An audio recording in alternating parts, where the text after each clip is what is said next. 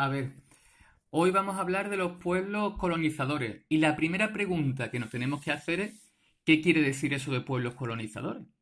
Pues colonizadores viene de la palabra colonia, ¿verdad? Eran unos pueblos que venían de otros sitios para llegar, para asentarse, para crear sus ciudades en la península ibérica, ¿vale? ¿Por qué? ¿Por qué vinieron esa gente aquí?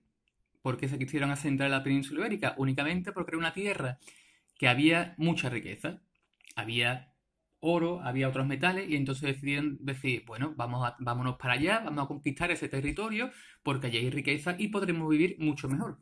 ¿Quiénes llegaron primero? Pues a partir del año 1000 antes de Cristo empiezan a llegar los fenicios, ¿vale? Y los griegos. Los fenicios, ¿dónde se asientan? Pues ya sabéis que esto es, esto es mar Mediterráneo, ¿verdad? Y crean sus colonias más importantes. Una, que esto ya es Atlántico, ¿eh? En Cádiz, que es Gadir. Gadir es la, como decía los fenicios, a Cádiz. Y también Maluca, que aquí está Málaga.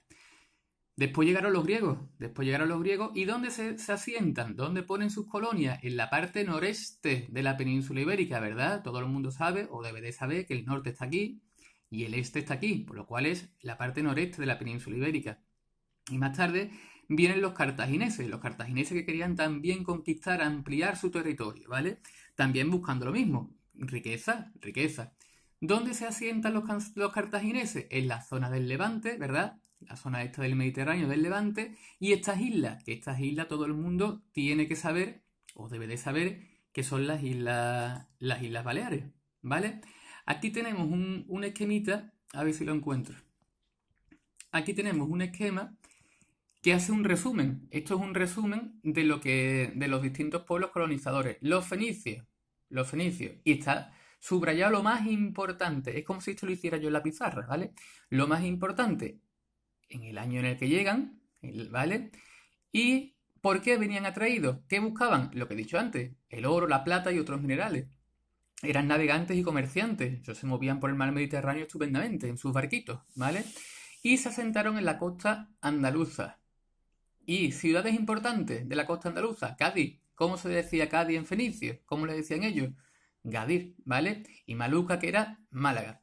Los griegos, que llegaron un poquito más tarde. Ojo, como estamos hablando de antes de Cristo, ¿vale? El siglo VII, después viene el sexto, antes de Cristo, después el quinto, después el cuarto, después el tercero, y así pum, pum, pum, pum, pum, hasta el año cero, que es el momento de la referencia, ¿vale?